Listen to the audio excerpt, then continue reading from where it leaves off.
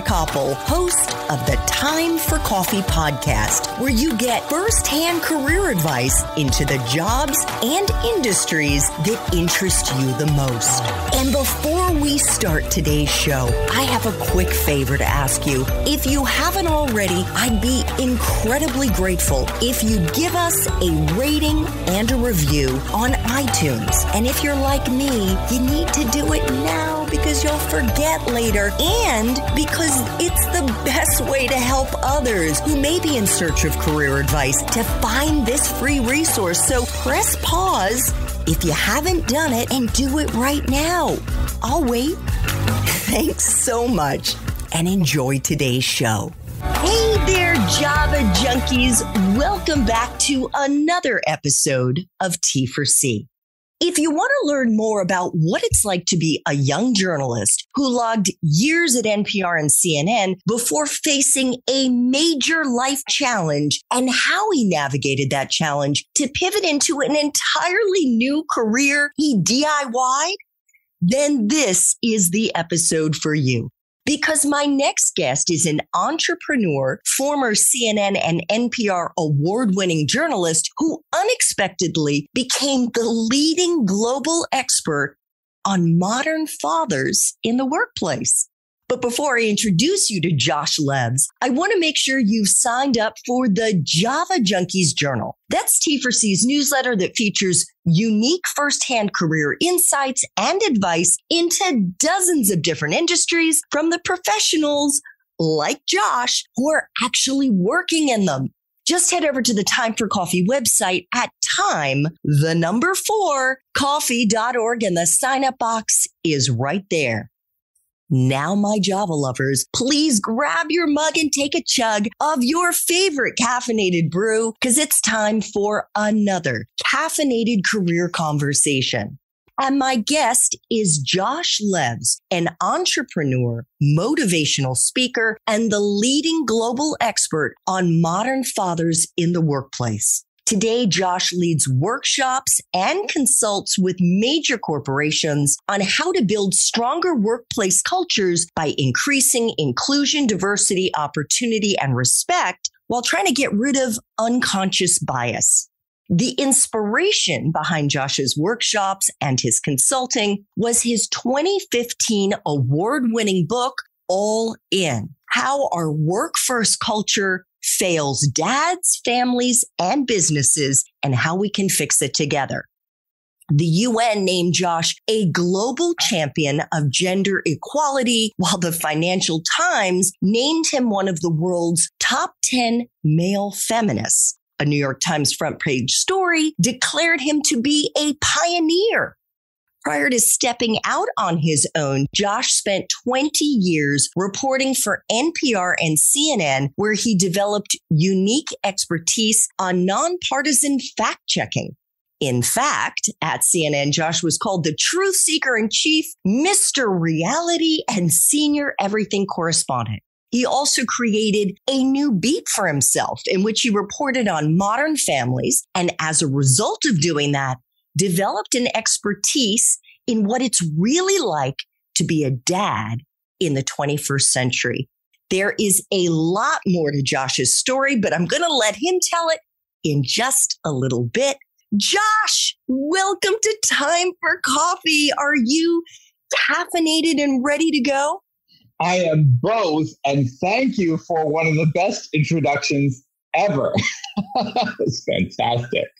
Well, that is saying a lot. And secondly, I have a I don't know. I have a little skepticism about that because I think you've probably had some phenomenal introductions over the years, Josh. I just want our listeners to know that I think you and I became friends when you were 20 something. Could that mm-hmm. be right? Or were you in your early 30s? You were a young I guy. I would have been my yeah, early 30s, very early 30s, because this was before I even went on air at CNN. So I had just, yeah, I was just barely over 30, I think, when you and I got to know each other. Um, man, we've been through some stuff.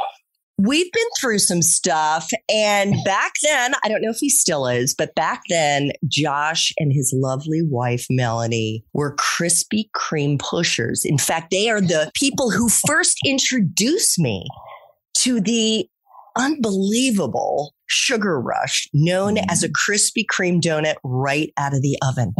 And I don't even like sweets, but when you go to Krispy Kreme and you see the hot donuts now sign, whatever you're doing, you just have to stop and pull in. Oh my God. That was, and actually, Josh, I'm just remembering this. I was pregnant with yes. my one and only child, Aiden. And I mm-hmm. think that's probably why Aiden likes sugar so much because I ate so many sweets. And honestly, I didn't really eat that many sweets before, but now we know the whole neonatal thing. Anyway, I'm totally boring our listeners no, who could right. care less about my pregnancy and my early Krispy Kreme addiction. And well, then actually, what? Go one ahead. quick thing about your pregnancy: you were the only pregnant woman in all of history who had to make sure not to enter a nuclear reactor in Libya. I remember thinking, okay, that's a basic from the doctor. Don't stand too close to a microwave. Don't drink too much coffee. Don't enter a nuclear reactor in Libya when you're pregnant. You're when you're eight months pregnant. When you're yes, eight, eight, months, months pregnant. pregnant, which yeah. you and Melanie didn't have children at that point. And I right. think now you can fully appreciate how fucking insane I was. it's incredible that you even got close. I mean, looking back. I mean, but the fact that I went to Libya. You went to Libya. No, that's what I mean. The fact that you were traveling at eight months. I mean, especially given that a couple of my kids ended up being premature. right. and actually, Aiden was 37 weeks. I know not as early as oh, yours. Yeah. But look, I totally don't want to lose any okay, more of our listeners at this point, Josh, because they may be wondering why it's relevant for them. Right. Those who are still in school right now, or maybe those who've just graduated at this stage of their student life or their professional life to listen to a story, to listen to an interview of a former journalist, and I know you still do journalism, who mm-hmm. today an expert on gender equality in the workplace. And I totally get that because honestly, at their age, I wasn't thinking about what it was going to be like to be a mother at age 22 or 23. And I certainly wasn't thinking about what it would be like to balance motherhood and work life. And I wish someone had spoken to me about this at that right. point about what it's like to juggle both. What about you? Was this yeah. something you were thinking about? Um, no, not at that age. You know, I'll tell your listeners two things right now. One, you can create your entire career, which you and I will talk about, and it's a whole different way to approach a career. And that's what I'm doing now, something I created. But also, in terms of gender equality, I say this in my speeches that when I was in college, the way all of us spoke about our futures, it was on an assumption that we would be able to have careers and families. And now is the time for you to learn that the workplace has not updated the way the society has. Workplaces will still push you, if you're female, to do the caregiving, will push you, if you're male, to not do the caregiving. And going to work for a place in which that's changing will benefit you. So you want to have your eyes open well before you ever have kids or anyone that you need to take care of. And I will share some tips with you during this conversation about how to spot a place that will make sure that you can have those options in your future. And I speak at tons of colleges and grad schools all the time. So I know this is important information for uh, your cohort. Awesome. So before we get into how you became a gender rights activist and a leading voice for modern dads at work, let's flashback, Josh. Josh Levs, this is your life. You went to Yale University mm-hmm. where you majored in comparative literature in comp lit. Did you know what you were going to do with that major when you graduated way back in 1994?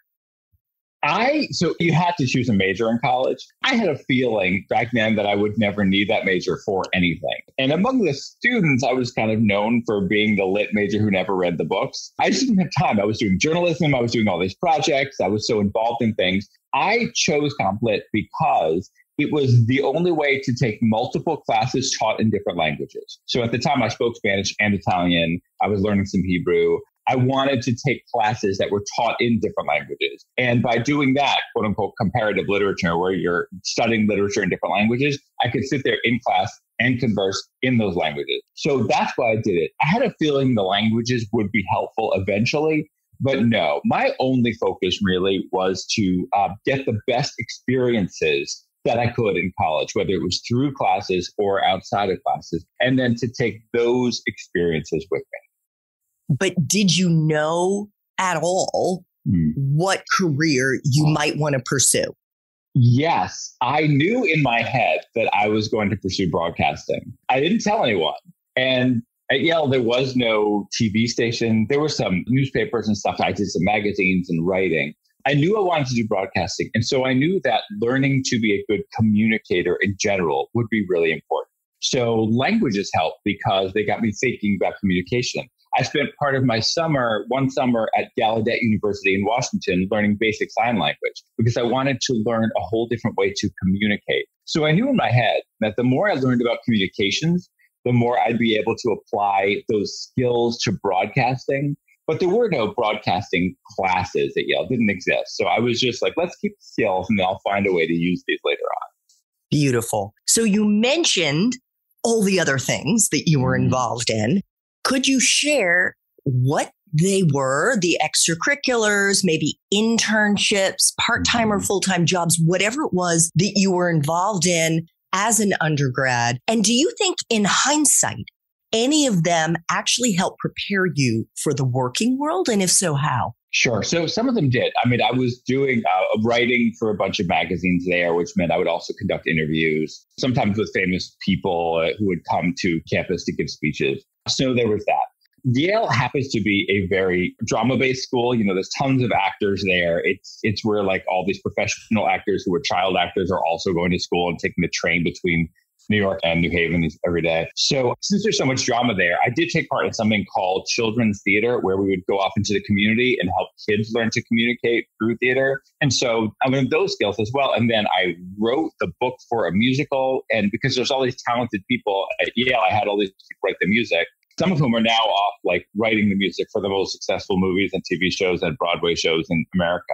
Wow. So, you know, I was spoiled with the talent that I was around. So I wrote a children's musical, I wrote the book, and then so I had that experience, and then we brought it, we performed it, and then we brought it into the community. And what was it called? Had, uh, it was called Inside Out, and it was barely tangentially representative of environmental issues, but not in a clobber or you over the head kind of way. It was about using the imagination and unlocking the imagination.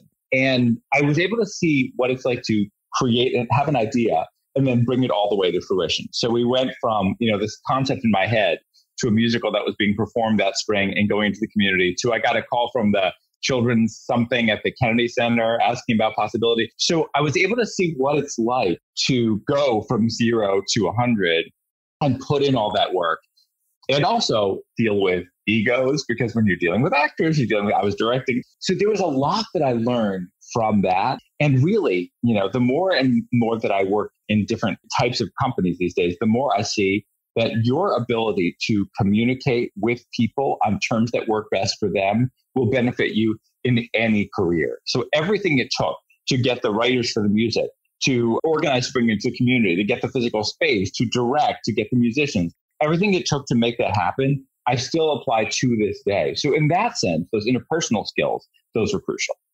Amazing. So what was your first job after you mm. graduated, Josh, and how did you get it? So I am different this way. I have this very deep relationship with my instincts. And I just had this realization one day oh, I'm going to move to Atlanta after college. I knew no one in Atlanta. I knew the Olympics were going to be happening in Atlanta. And I knew that therefore there would be opportunity. So I was just like, I'm going to just take off and move to Atlanta with nothing but I knew I wanted to go into broadcasting. So I got some jobs that were part time. I was selling tickets at a comedy club, worked for a few months using my languages to help the Olympics. But then my first real job was that I knew I wanted to break in. I decided I wanted to break in at NPR. So I showed up at the local public radio station during a pledge drive.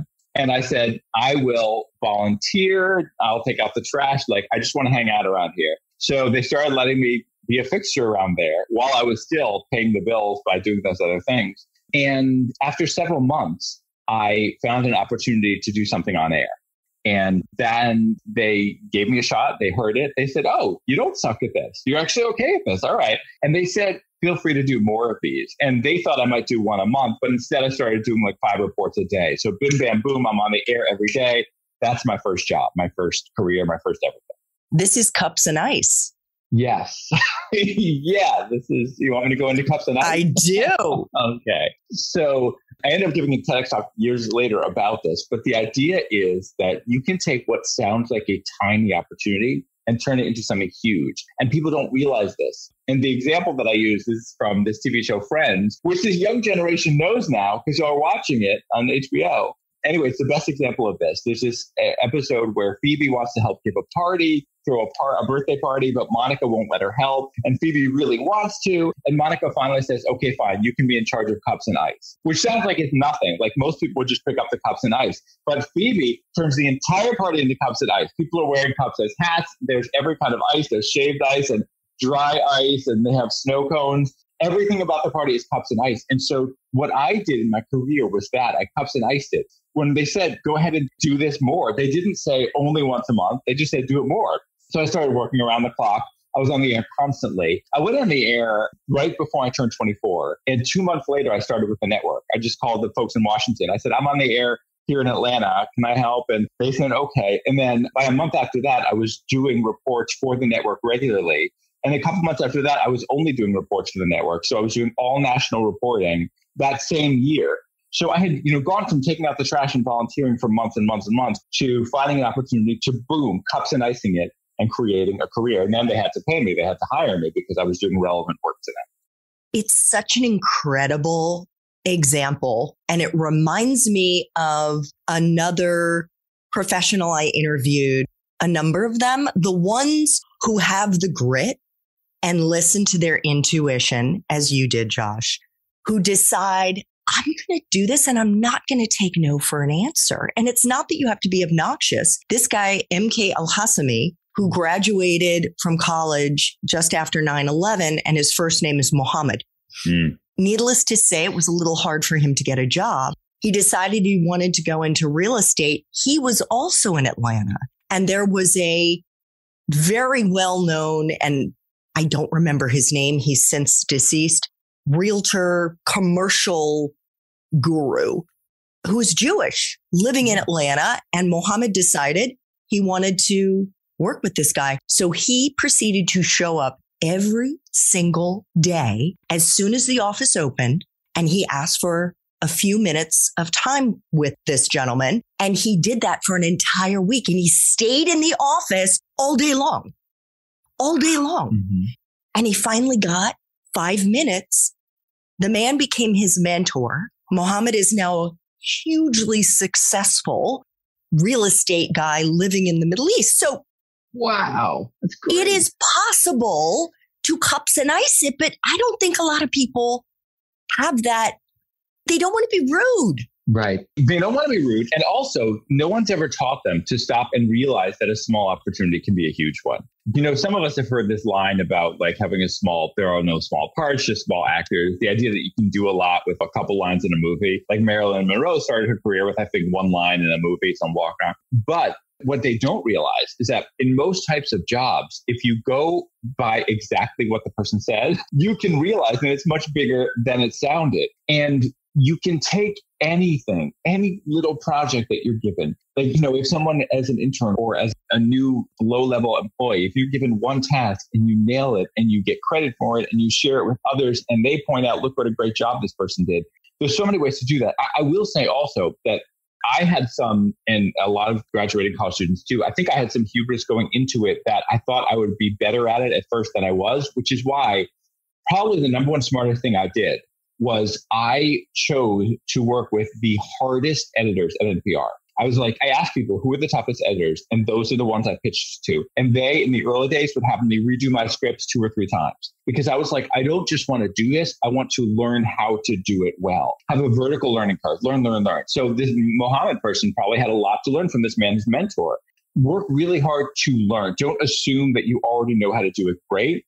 Trust your instincts that it's the right field for you, but focus on learning from people around you who are successful in a real modest way, in a way that sets aside a humility and allows yourself like soak up these lessons. And it was only because I worked extra hours to improve every line that I got to a place where a year later they could trust me as an NPR correspondent and give me the toughest stories. So, you know, don't just get yourself the opportunity, also make sure that when you have it, you know how to do it. And you work your ass off. Work your ass off. You have to operate on the assumption that you will get an opportunity and start learning, learning, learning. Because otherwise, you get the opportunity and then you suck at it. And then there goes that entire experience. Yeah. So during this time, around this same time, you were at NPR for 10 years and you actually, you won at least one Peabody. Is that correct? Well, actually, the Peabody, I got a bunch of Peabodys at, at CNN, but at NPR, I got these two Murrow Awards. Oh, gosh. Yes, that's what it was. Yes. Edward R. Murrow, which is, that's a phenomenal accomplishment. And you got two.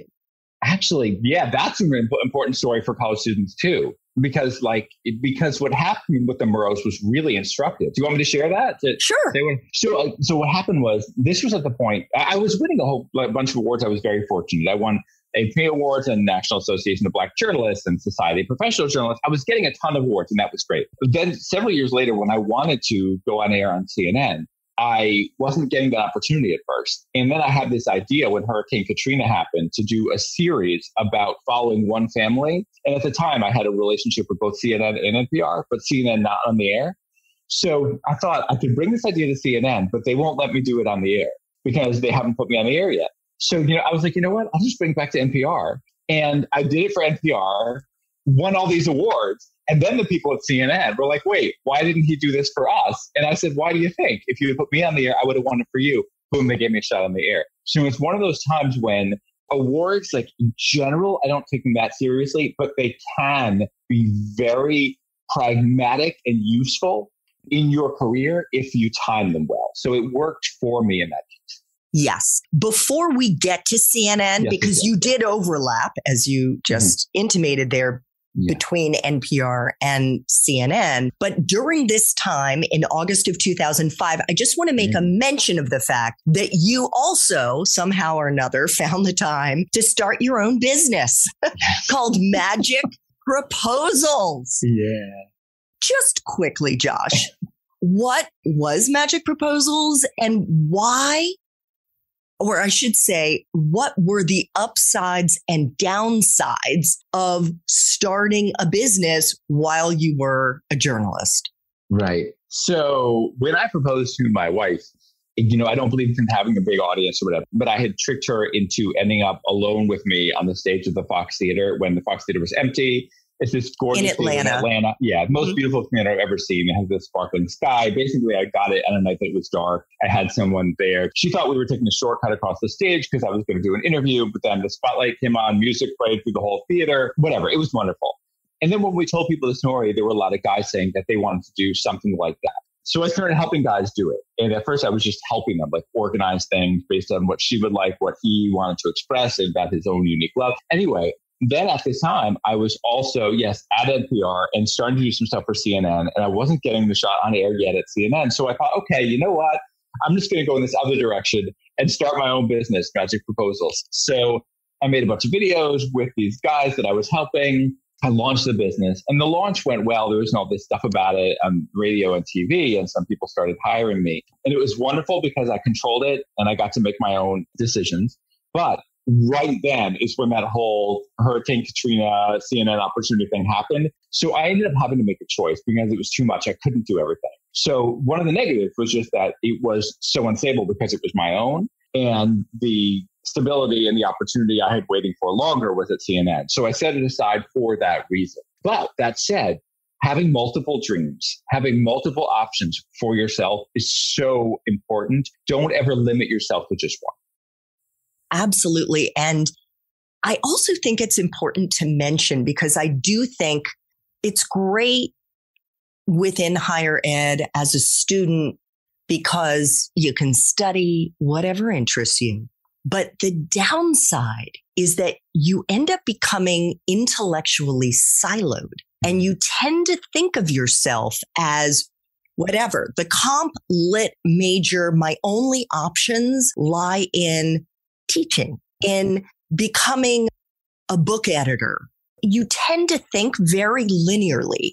And I think one of the wonderful things that people discover is that you can be an entrepreneur in pretty much any industry. You can have an entrepreneurial mindset. And I think we heard Josh talking about the entrepreneurial mindset he had at NPR, whether it was innovating a will follow a Hurricane Katrina survivor over a period of a couple of years, or I'll, and he's going to talk about it now, innovate a new beat at CNN.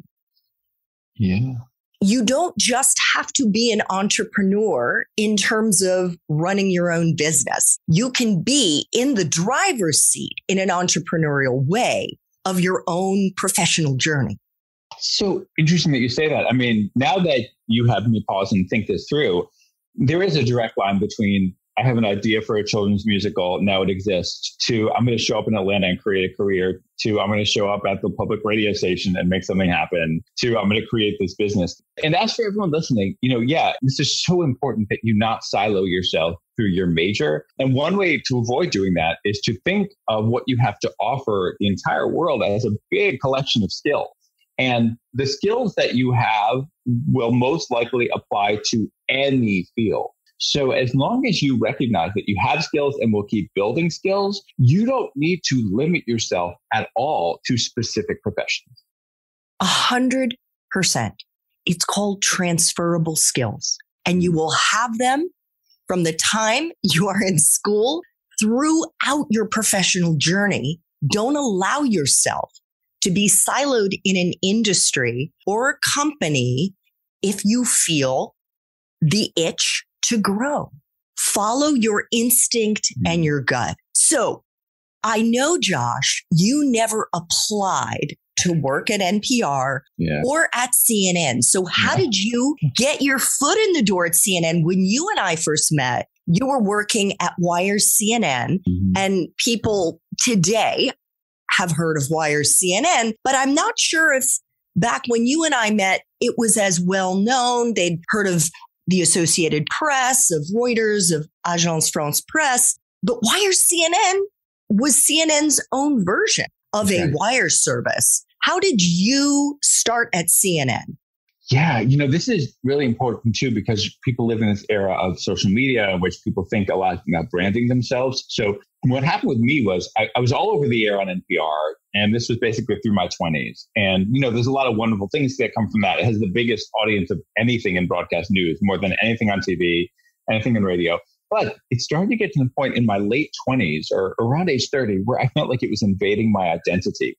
I was starting to think of myself as Josh Levs, NPR News. And I was like, you're never your job. You, I don't care if you're the president. You are not your job. You are a human being. You are a Homo sapien on this little tiny marble in the universe. And I was like, I need to drop off the air for a year. And I knew people at CNN and I wanted to get involved in the newsroom making editorial decisions. And someone suggested to me Wire CNN because the way it worked there was if we at Wire CNN, this group of people, if we wrote a Wire story inside CNN, as soon as we published it, all of CNN's outlets in the world would start reporting it. It would immediately go to CNN International, CNN Domestic, CNN Espanol, CNN Radio.com. And it was far more powerful than any individual story I could do.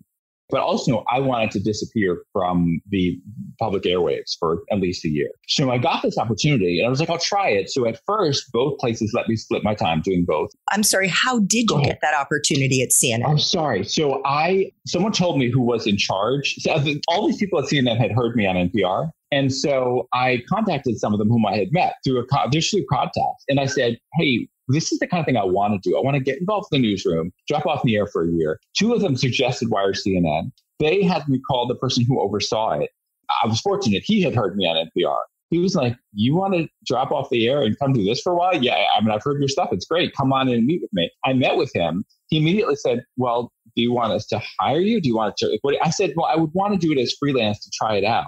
So I asked NPR for permission to go to half schedule with them. And I asked him for have two or three days a week. And everyone said yes. So again, you can create what you do. So I started doing NPR half the week and Wire CNN half the week. And I loved CNN so good. And I became like allergic to hearing myself on the radio because I knew in my instincts I had to disappear for a year. I had to stop letting that invade my identity. Like I am this person who is on NPR. So then I just stopped with NPR and I started doing only Wire CNN for a year.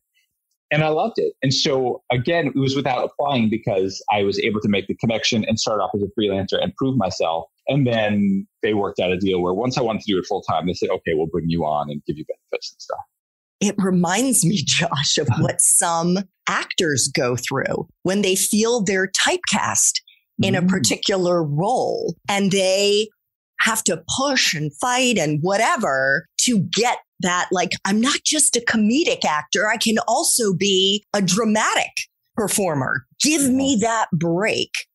So, this was your way of creating the break for yourself. Hey, you're totally right about that because I remember when I started, there were some people at the desk who were like, oh, another broadcaster who thinks he can write. And then what they didn't understand is I had had to work on writing in order to do NPR. Like I said, I got the toughest editor. So I came in with the writing skills. So then, like, they would give me the least important stories at first. And then when they were like, oh, he did well on this. Okay, let's give him something hard. And then they like that too. So I had probably a harder, I know, not probably, I had a harder time at first proving that I could do this job than someone who would have come from like a small newspaper somewhere because they had all this writing experience that people could read. Fantastic. So, how did you cups and ice your way from Wire CNN to getting your on air break? Because that is not the usual path. I don't know if our listeners may be majoring in broadcast journalism or journalism, but usually the path to getting on air, if you don't become a reporter in some no name place, is becoming a producer. But it is not usual to go from Wire CNN. Maybe it is now, but it wasn't no, when I knew you back then. That was not the usual path. Right. Usually it's either as a producer or as a local station reporter. So you're right. It was unheard of. And people told me it wouldn't happen. And inside CNN, all these people were like, we only want, I mean, like I got so much rejection. Once I did wires for a year, I started wanting to do some on air stuff. And that was when the rejection started. They're like, no, you're too real a journalist. No, we only you're too like, real a journalist. Is that literally what they said? Uh huh. Oh yeah. No, I'm, and then there were these two people who told me, listen, there are capital T's and capital J's. Capital J's are journalists first. Capital T's are TV people first. They, they said, and there was another executive too. He said they're looking for pretty boys from entertainment shows. You come along as a journalist. This isn't for you. I mean, but but people had said that to me about NPR as well. Like, and the way I am, the rejection fueled me. But I will tell you, it got to me after a year. And I did. I went to a therapist and I was like feeling so down. And when I got it, because my, my, wife was like, you have to talk to someone. And because she, she said, was what? like, I'm sick of listening to you, dude. I'm sick of, this. of you being sad whatever. Yeah. yeah. No, I'm, I'm just kidding. I'm just no, kidding. No, no, no. no. I know you're right though. I mean, and so when I went there, he said, What's wrong? And it took me like five minutes to get it out. I sat there and I said, I'm a failure. I am a failure. And he was like, What? Because, you know, he had heard and seen my work and he did. But then I said, like, this was the first time I had spent more than a year trying to make something happen. And looking back in the scope of things, what's a year? But at the time, it felt like a lot. So I, you know, I just kept being told, no, no, no, this isn't what we're looking for. Yeah, they want like the pretty boys. They want like people who are going to take journalism less seriously. They want people who will do like, which by the way, I'm sorry, Andy Rooney. I'm sorry, Andy Rooney. And I know oh, our man. listeners I mean, don't know your Andy dad, okay? He's okay, but my no, but I was going to say my dad actually for years, years and years, probably to this day, and he's about to turn 83, had a chip on his shoulder because he wasn't the, you know, drop dead gorgeous oh. News person, right. anchor, whatever. And first of all, Josh, I mean, you're a good looking guy. I don't know what they're talking about with this like pretty boy. And it reminds me, Josh, of when I after I came back from China, after I graduated from college and decided I wanted to be a journalist, and I'd worked at a member station of NPR for six months, hustled my way to a job working for the all news radio station here in DC. And I too wanted to break into broadcast. And I went to see somebody who was an executive at public television. And he said to me, well, I guess you're how do you, oh gosh, I can't believe I'm blanking on this. He said the most backhanded way of telling me I wasn't fucking ugly. Right. That was really what he said. Mm-hmm. And it so hurt mm-hmm. to have somebody judge me purely on my looks that I, I can't say it deterred me. I think it also fueled me. Me too. Well, that's that's that's something that makes you and me and uh, the listeners who have the potential to be this way successful. Look, by the way, thank you, but I mean, every actor has been told this too. I mean, like Tom Cruise was told he couldn't, he wasn't good looking enough to be on TV. I mean, so the idea of being told this is really more about the person saying it. And one thing I learned early on, and this is important for your listeners, is that it's you have to understand and internalize this. No other human being will ever know what you're capable of. No one. You cannot count on other people to believe in you or your career trajectory. You have to know your instinct. You know what you're capable of. I had been told that my voice wouldn't work for NPR, that I was all over NPR. So even when they were saying this to me, I knew the people saying this to me had been told that and internalized it themselves. So it was more practical to me. I mean, I wasn't like, you know, so hurt in that sense. I was more like, I know I need to do this and they're not letting me. And that was when I thought, okay, you know what? I've tried for a year. I'm going to go do magic proposals. And I got the Katrina idea. And instead of bringing it to CNN, where they would have stolen it and had someone else do it on the air, I went and, and did it for NPR. And at the time, because I had switched to freelance for NPR, after I got this whole series, in order to be eligible for awards, they had this policy where they would not apply freelancers for awards. So I had to come up with the money myself, and it was expensive at the time to submit my own reporting for those Murrow Awards. But I was like, if I win, maybe it'll help me. So I came up with the money. I applied. I ended up being the only person who won any awards for NPR that year. So it's a good thing I did this for them. They sent me all these gifts. They refunded me for the applications. And, and, that's when the whole thing happened at CNN with the boss saying, wait, why did he just win Murrows for NPR when he could have won it for us? And then that's when we get to how I then made the jump because no one made that jump from wires to on air. And what happened was I heard that I had, I had a, a very high level contact at CNN who spoke about it in the morning meeting for the whole company. And that's when the head of the company said, Why didn't he win it for us? And right after that, I messaged him and I said, You know why? Because you haven't put me on air. Please mute me. I got a five minute meeting with him that weekend. And then that meeting, which if you want me, I can tell you what happened, but that meeting changed everything. That meeting was the reason I got it. Five minutes, literally. So give us the high level takeaways from that meeting, because this is another mm-hmm. cups and ice story. Lessons from being Jewish. When Pharaoh says he's going to let your people go, don't wait and let the bread rise. Just leave, okay? Eat matzah forever, doesn't matter. Leave. When I went into that meeting, I said, look, this is the thing.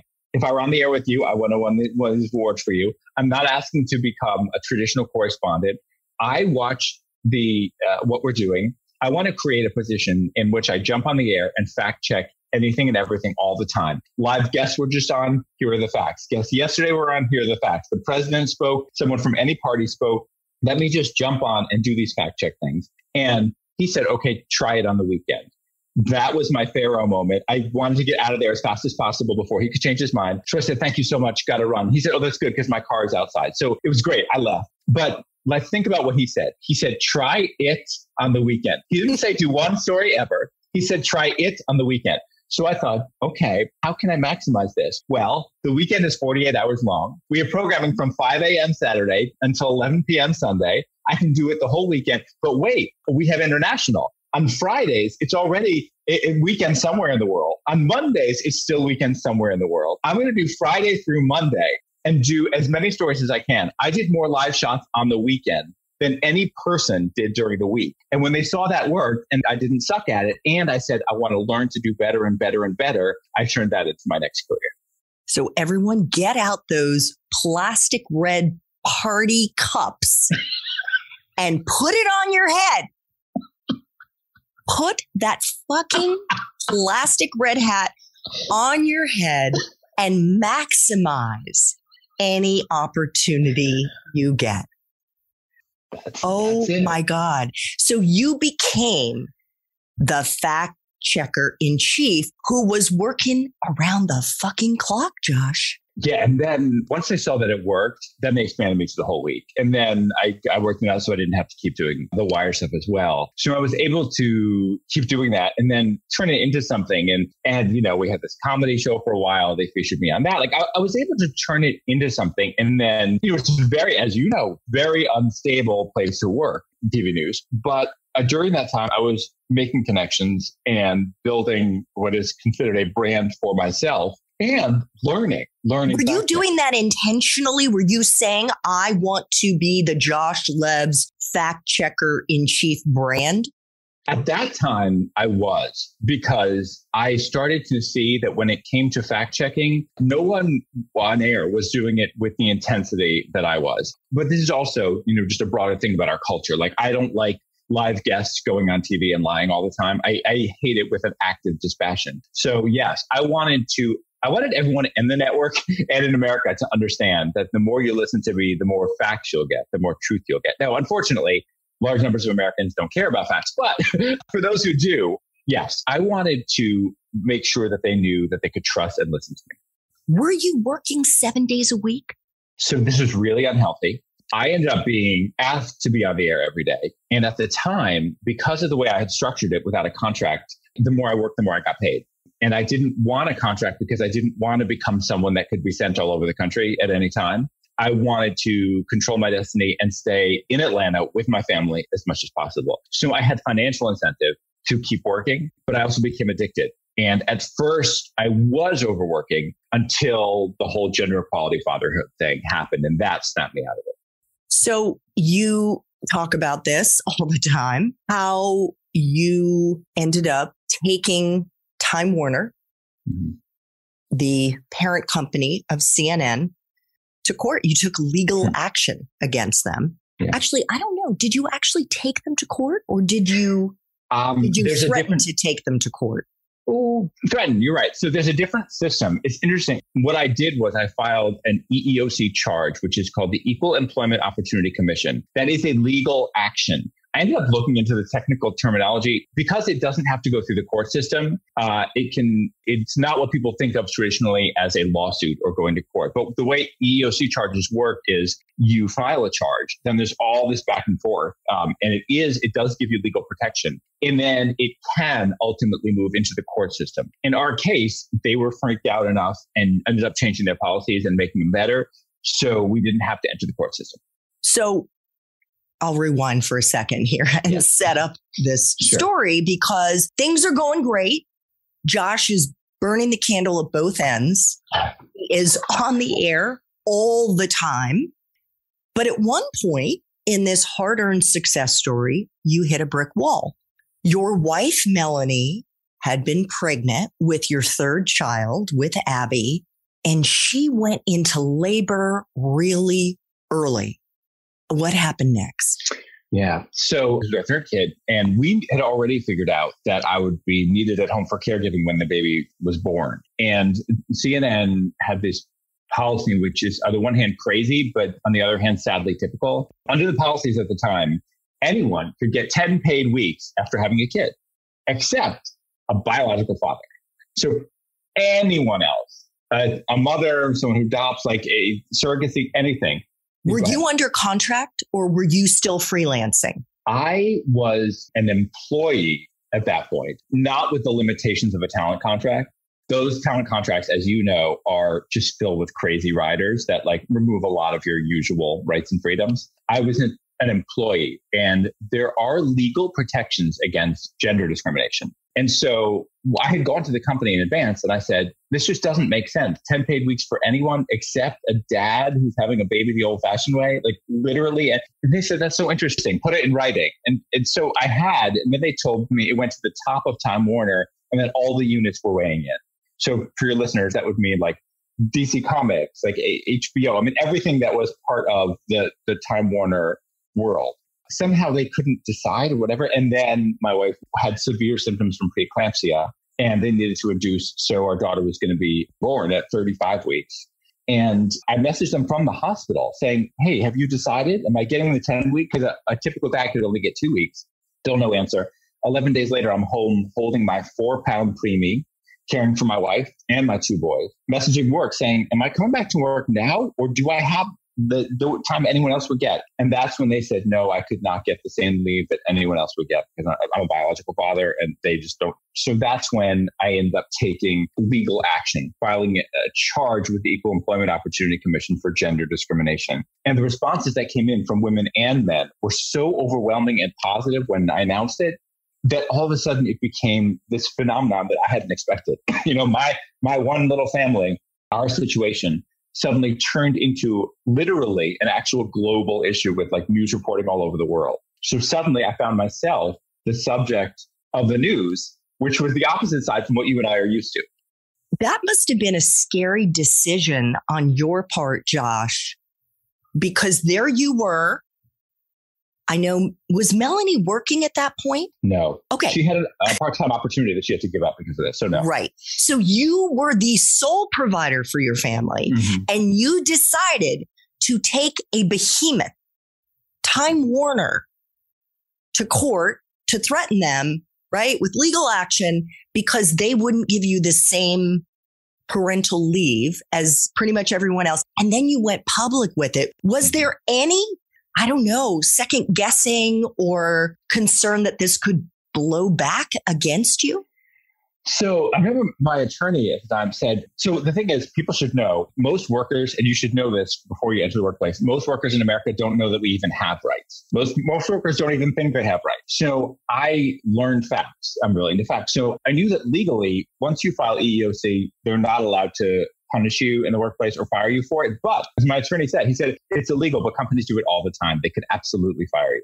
But I just remember thinking, when I graduated from college, what kind of a person did I decide I wanted to be? Who did I want to be? Did I want to be someone who would let fears about mortgage and health insurance overpower what matters most? Or did I want to be someone who would stand for what's right? And I knew that it was too late to help my family because it would take forever to have this legal battle. And I had to go back to work and leave my wife at, at home and all these things. But I knew that it mattered to other families. And when I announced it, all these men and women started calling me to tell me their heartbreaking stories of going through similar things. So I had so much feedback coming in about why it was a good thing to do that I didn't stop to second guess myself. So sure, there was fear. What if they fired me? But I also have this belief in America, not that America as a, a government or institution will always do the right thing, but that within America, there are people who, if you do the right thing, they will stand by you. These individuals will stand by you. So I didn't feel alone in the world making that choice.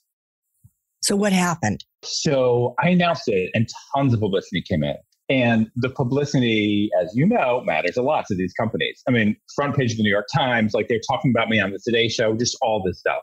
And then I end up getting a book deal. And so I am writing a book. So all these things started moving very quickly after that. I will never get back the time that I lost in those initial weeks of my daughter's life. I'll never get back that time I lost. But I felt good about fighting the good fight for everyone. And so over time, the message, I think, became pretty clear to CNN Time Warner that they could not maintain these policies that stated that men could not have the same chance to do caregiving. And what I learned throughout all this, and this gets to something you said in the introduction about feminism. I never thought about the term feminism really, or it applied to me at all.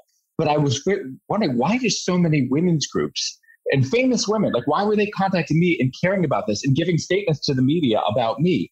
And I came to understand what's happening in the workplace. This is what people need to have their eyes open to when they're going in. The modern workplace was designed in the Mad Men era the concept of what work is, this idea that you go to a place in the morning and you're done in the evening and you go home. It was built for work life balance, with the balance being one person, the man, does all the work, the other person, the woman, does all the life.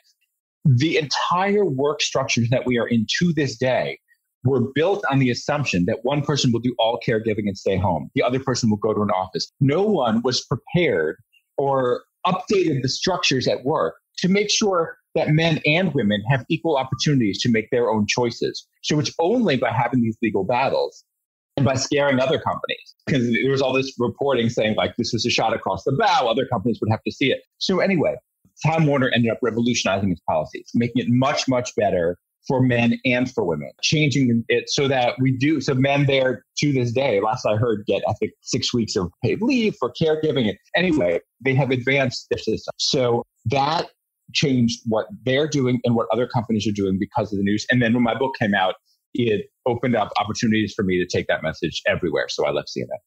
Well, first, huge, huge congratulations to you.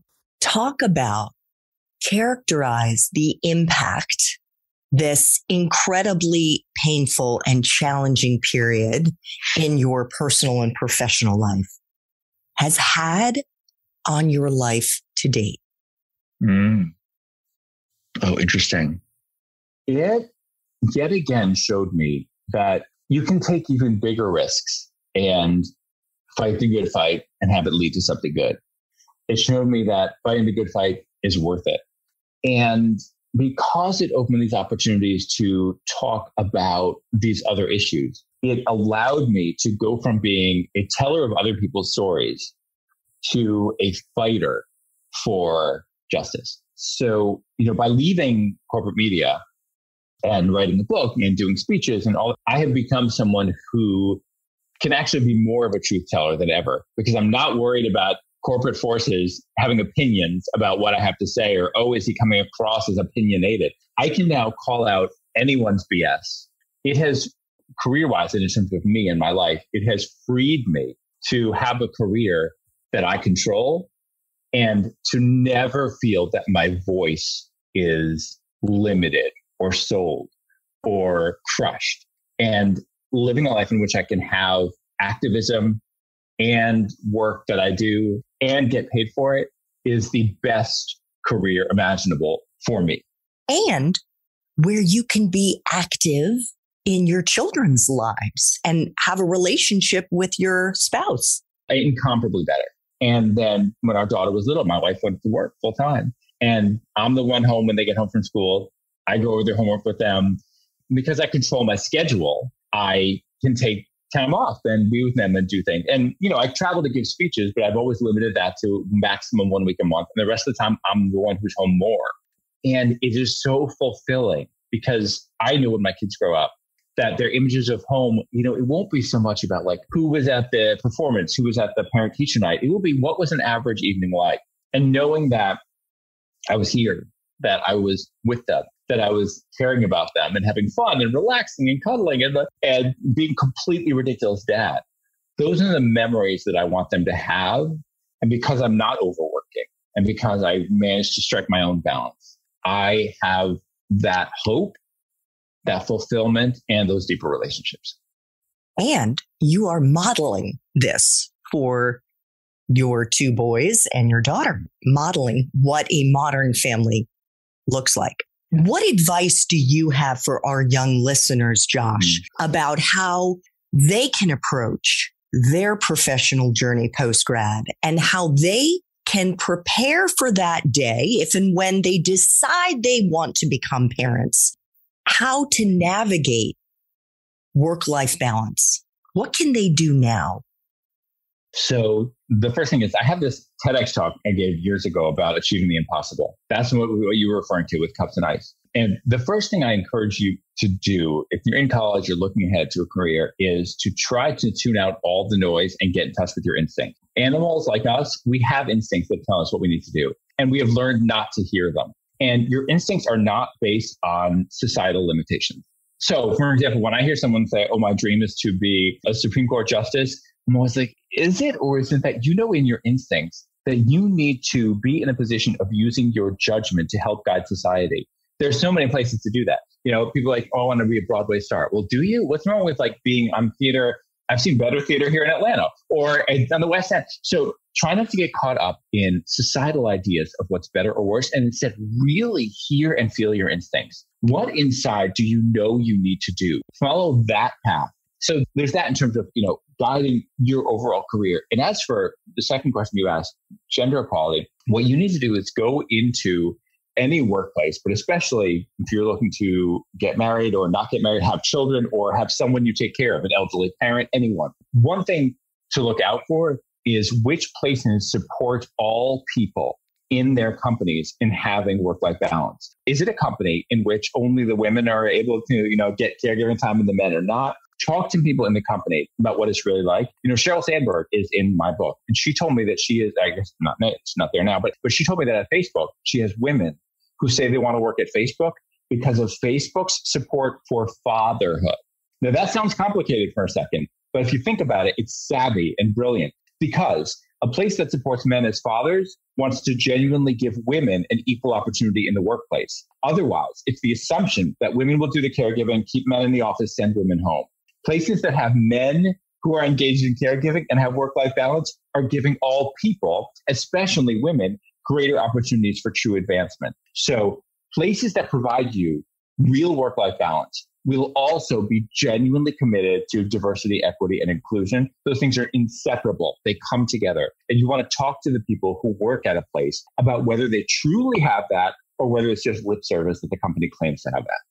Fantastic. Josh, I have two final T4C questions that I try to ask all of my guests. The first one is if you could share a time in your professional life when you struggled, mm-hmm. maybe you failed and you've alluded to and, and gone into detail about mm. the biggest one. Um, that, that wasn't a failure, it was a challenge in terms of standing up to CNN and also the challenge of trying to get on air at CNN. But the most important thing here is how you persevered and if there was a lesson you learned in the process. And it is fine if you want to say refer to minute 23 in no, the interview. No, it's fine. It's great. You know, back at CNN, as you know very well, at the end of every calendar year, they would suddenly just like start firing people randomly. And I did have a difficult time in which I thought I was going to completely lose all my money. I had had this banner year. I was all over the air. I was doing all this stuff. And then they called me and they're like, yeah, we don't think we're going to budget for you next year. Boom. Now I ended up being on the air anyway. But in that period of time, I was like devastated, partly because I was addicted to what I was doing. This was before I achieved real work life balance. And also partly because financially it was a, the biggest chunk of the money I was making. So I freaked out. And that's when I went back to that therapist I had seen years earlier when I felt like a failure. He said, you know, he asked me the best question. He said, let me ask you something. When you're on the air, are you fully in the moment? I said, yes. He said, when else are you fully in the moment? I paused and I went, oh my God, I'm addicted. That was when I realized we can become addicted to anything. And most of the time, addiction has to do with being able to be lost in a moment and not having the stresses and fears. So for me, that became the best learning opportunity because I realized that I had to get work life balance. I had to improve my mindset. I had to change how I approach life. And I had to be present in moments in general.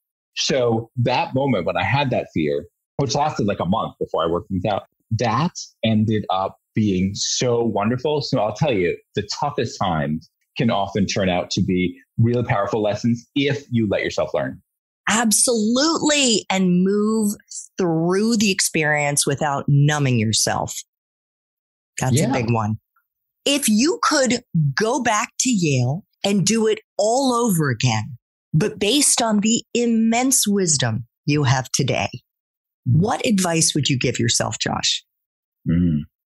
Yeah, it's so interesting. I think about this. I think it would be this that you have learned so much, but as you go forward, you're going to need to do two things at once. One is learn skills of the workplace, which are different from no matter what you've done, no matter how much you've learned. You'll have, but also there are some things that you will have to unlearn. And I did not realize that until I started my career. And when I was working with some of those early editors, I remember one of them said to me, she said, You know, you have been in academia for so long that your language is academic, and you have to set all that aside and try to talk like a real person in order to be a. And this was when I learned the skills of like NPR is supposed to be the most intellectual news. And yet, even there, I was taught tell the news like you're talking to a third grader because it's only then that you'll simplify it enough to make sure you understand it and everyone understands it. I did not realize when I was in college and graduating from college that there are some things you have to unlearn. You have to unlearn some expectations you have. You have to unlearn that hubris that tells you that you already know enough about certain things. And you have to unlearn any biases, not just racial or any of that stuff, but just perspectives because there are things you haven't heard or experienced or learned yet. I moved to the South partly to do that. There was a thinking about the South up in the North that I had experienced, which is, oh, the South is so backward and racist. Well, I moved out to Atlanta. It was the least racist place I had ever experienced. And the place I grew up was completely segregated in upstate New York. So there were things to unlearn. And I want people to graduate from college and go into the work world excited about the opportunity to simultaneously learn and unlearn. That is so wonderful. You've gained a lot. It's all been worth it. But now is a new beginning to do both. Oh my gosh. Josh, you are singing from the same songbook. I love it. Josh. Josh is the author of All In How Our Work First Culture Fails Dads, Families, and Businesses, and How We Can Fix It Together. Josh, where else can our listeners find you? Go to my website, joshlevs.com, uh, J-O-S-H-L-E-V-S.com. Also, the main social media I use for all things professional is LinkedIn. And you're oh, you're like a LinkedIn superstar. I mean, you actually are. You're one of the top things on my LinkedIn every day because your stuff is so engaging. But I I am a big fan of LinkedIn because it, you can siphon it by field and location and all these other tools that no one else has. And as you enter the work world, folks, make sure your LinkedIn looks professional and interesting and that it's not a place for your silly nicknames and stuff. They don't belong. Josh, I want to thank you so much for making time for coffee today with me and the Time for Coffee community. You are such a rock star. I am so proud to know you. And I have so much incredible admiration for the work that you've done and that you're continuing to do. Thank you so much. This is a fantastic interview. And I'll tell you one thing, you know what this is like having been an interviewer for so long getting used to being interviewed to this day can be a little tricky, but with you, 100% comfort. So thank you so much. Thanks so much for listening to this latest episode of T4C. And if you're interested in learning more about my coaching services for confused college students and recent grads, feel free to check out the Time for Coffee website under the coaching tab at time, the number four, coffee.org or text me at 202 236 5712. That's 202 236 5712.